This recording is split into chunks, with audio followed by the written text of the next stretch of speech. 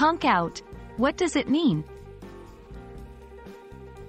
Hello language enthusiasts. Today, we'll be exploring a quirky English phrase that you might come across in everyday conversations.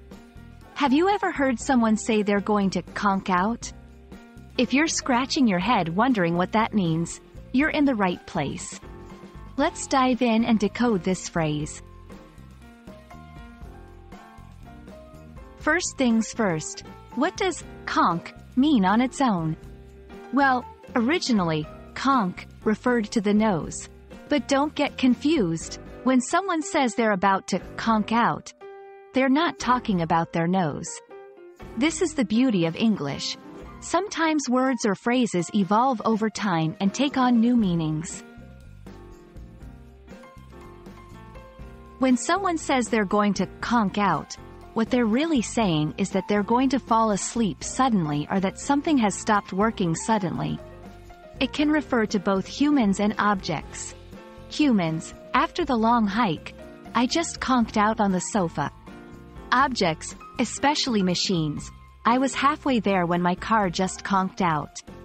It's a casual and informal way to express these ideas, so you'd probably hear it among friends or in relaxed settings.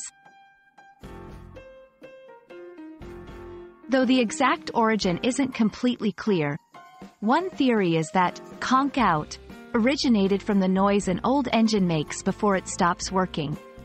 The word conk might imitate this sound. Over time, it's been used more broadly to indicate anything or anyone that stops functioning or falls asleep abruptly. To help you better understand, here are a few more examples. 1. I wanted to watch the movie, but I conked out halfway through. 2. Can you check the blender? It just conked out while I was using it. Remember, context is key.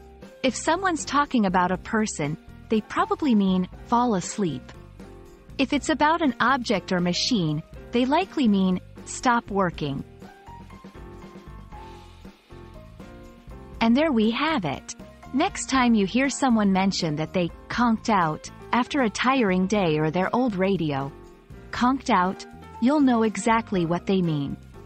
English is filled with such fun idiomatic expressions. Hope this video helped you understand this one better. Keep exploring, and until next time, happy learning!